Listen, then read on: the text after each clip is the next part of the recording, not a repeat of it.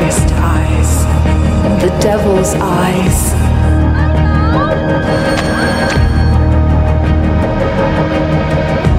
I spent eight years trying to reach him, and then another seven trying to keep him locked up because I realized that what was living behind that boy's eyes was purely and simply evil.